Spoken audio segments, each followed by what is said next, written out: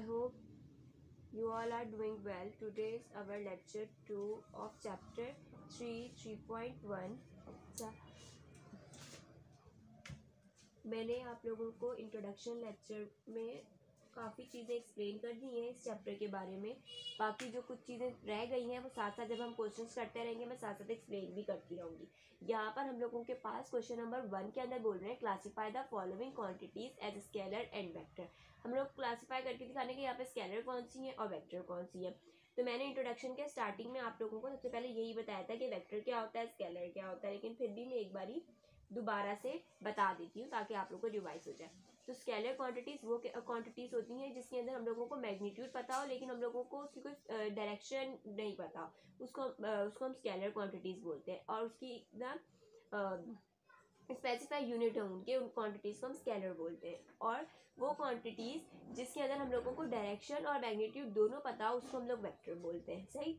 अच्छा तो यहाँ पर जो सबसे पहले हम लोग को दिया हुआ है फोर्स तो फोर्स क्या होती है? अब हम कुवत किसी, जब भी हम लगाएँगे तो वो किसी ना किसी डायरेक्शन में लगाएँगे ना, चाहे वो नेगेटिव हो पॉजिटिव हो, या कोई भी डायरेक्शन हो, पर उसमें कोई डायरेक्शन हो तो इसलिए जो हमारा फोर्स है, वो क्या हो जाएगा? वेक्टर अच्छा फिर उसके बाद में नेक्स्ट है हमारे पास स्पीड अच्छा अब स्पीड क्या होगी? ये समझो कि ये हमारी स्पीड है, हम कोई डिस्टेंस कवर कर रहे हैं, ठीक है? अगर हम लोगों ने थोड़ी स्पीड होगी तो उसमें हमारे पास डिस्प्लेसमेंट आ जाएगा, है ना? तो अब यहाँ पर डिस्प्लेसमेंट पूरे लिखने की जगह नहीं है, पर डिस्प्लेसमेंट सही है। और डिस्प्लेसमेंट क्या चीज़ होती है? वेलोसिटी होती है। और जब वेलोसिटी होगी तो वेलोसिटी क्या होती है? हमारी वेक्टर क्वांटिटी होती है। तो यहाँ पर क्या आ जाएगा? स्पीड भी क्या है? वेक्टर क्वांटिटी है। अच्छा फिर उसके बाद में हमारे पास नेक्स्ट ही है, वो है वेलोसिटी जैसा कि मैंने बता ही दिया कि जब स्पीड होगी तो वेलोसिटी होगी और वेलोसिटी हमारी वेक्टर है। तो ये भी क्या हो जाएगी? वेक्टर हो जाएगी। फिर हमारे पास एरिया अब एरिया हो, वो मतलब एरिया की हम लोगों को कोई डायरेक्शन नहीं पता होती। मतलब अब एरिया कहाँ एरिया है, कितना एरिया है मतलब कि कुछ उसका पता नहीं होता। तो इसलिए ये क्या हो जाएगा? ये स्केलर हो जाएगा।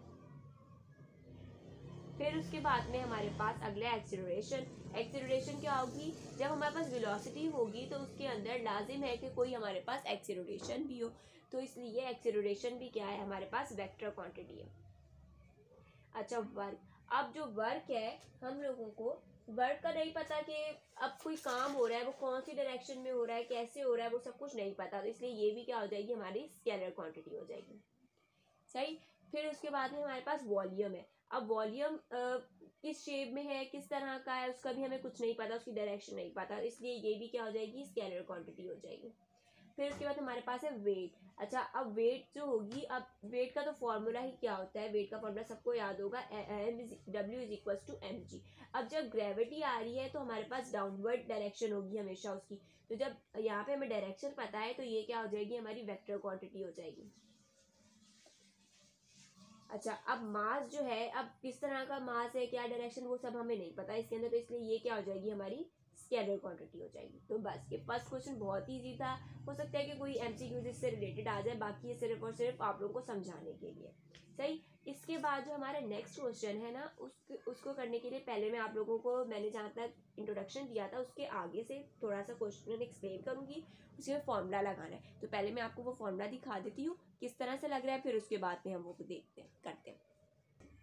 अच्छा जो हमारे पास क्वेश्चन नंबर टू है ना, उसके अंदर हम लोगों को बोला जा रहा है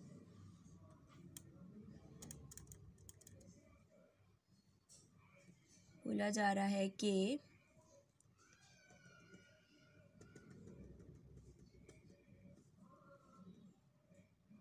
यहाँ लिखा हुआ है right the vector P Q in the form X I plus Y J के अंदर लिख के दिखाओ हम लोगों को वेक्टर दिए हुए पी क्यू के। अब उसको लिखने का क्या तरीका होता है वो हम ऊपर देख लेते हैं।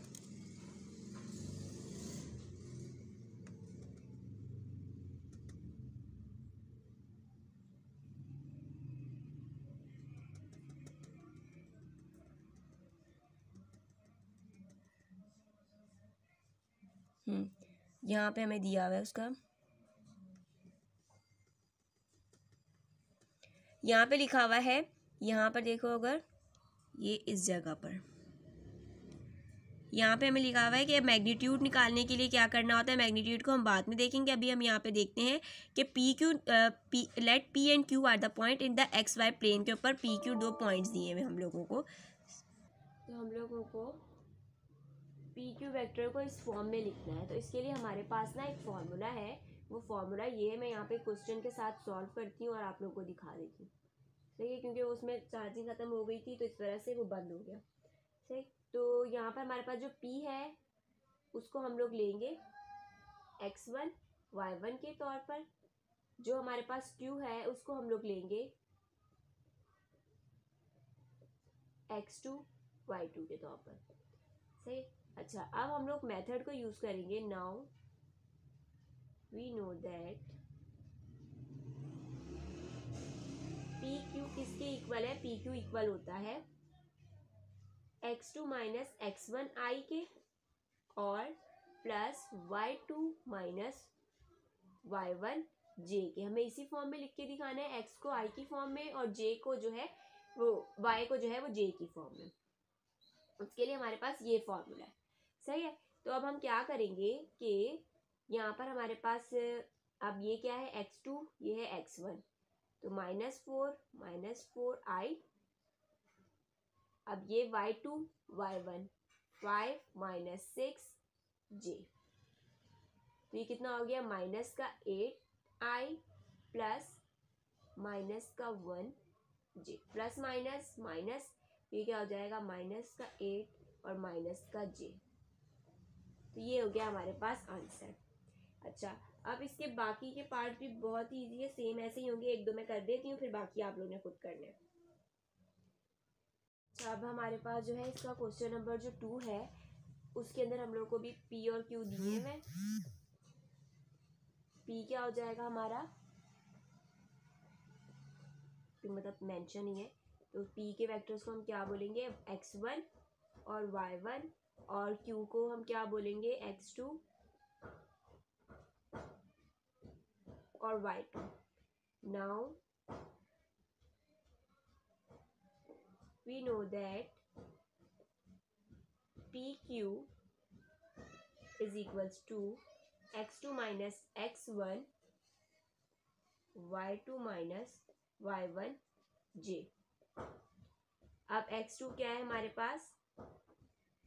टेन और ये y1 क्या x1 क्या है, है हमारे पास माइनस का five upon two minus minus क्या हो जाएगा? Plus five upon two I Y two है एट वाई वन है नाइन जे अब यहाँ पर हमारे पास क्या होगा? के टू का एलसीएम ले लेंगे। टू यहाँ पे हो जाएगा ट्वेंटी प्लस फाइव आई और यहाँ पे बीच में प्लस प्लस ये हो जाएगा माइनस का वन, जे एट में से नाइन गया तो माइनस का वन। अभी कितना हो जाएगा? Twenty five upon two I. और ये कितना हो जाएगा हमारे पास? माइनस का जे आंसर, पी। बहुत इजी है, सही है। अच्छा इसके जो दो दूसरे पार्ट है ना, वो आप लोग खुद कर लें। सही है, बहुत ईजी है। तो नेक्स्ट लेक्चर से मैं कोशिश करूँगी जल्दी जल्दी से कंप्लीट हो ये। तो नेक्स्ट लेक्चर में इंशाल्लाह हम इसका क्वेश्चन नंबर थ्री देखेंगे। तो जब तक के लिए अल्लाह हाफ़